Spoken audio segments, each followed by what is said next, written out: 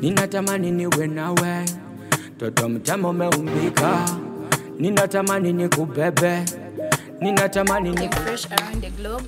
Don't miss out a new movie from Brave Mind Films. It's called Palace Confession. Don't miss me out. It's your girl Patience.